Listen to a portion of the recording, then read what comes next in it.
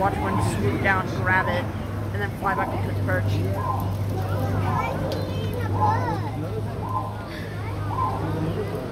Let's go grab it. Yeah.